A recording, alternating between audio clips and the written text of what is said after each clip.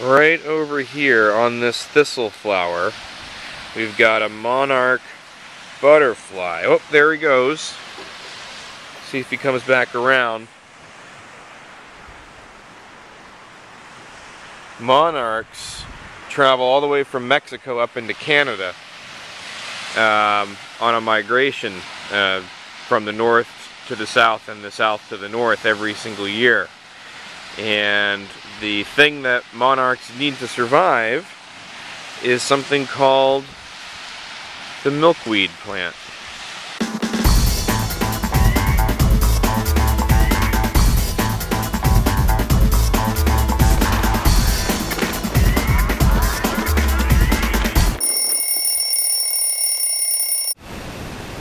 These two plants right here are called milkweed and this particular plant is really, really critical for monarch butterflies. Now they start their life down in Mexico and they fly all the way north to Canada. And along the way, they need this particular plant, milkweed. They lay their eggs on the milkweed and the caterpillars, when they hatch, eat the milkweed.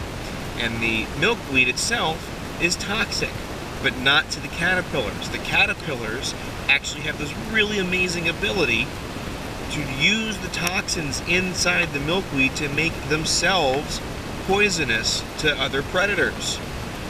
So a lot of birds and a lot of other organisms that might eat a caterpillar don't eat the monarch caterpillar because they know that it's toxic. Now you might ask yourself, why is it called milkweed? On the inside of the leaves and the stem of this plant is a white milky substance. So when you break the leaf, it actually looks like it's oozing out milk. Let's take a look. Now here's the leaf to the milk plant. Now watch what happens when I just pinch the tip of it right here. We see that white sap begin to ooze out of the vein. And that right there is what those caterpillars are after they like to drink this.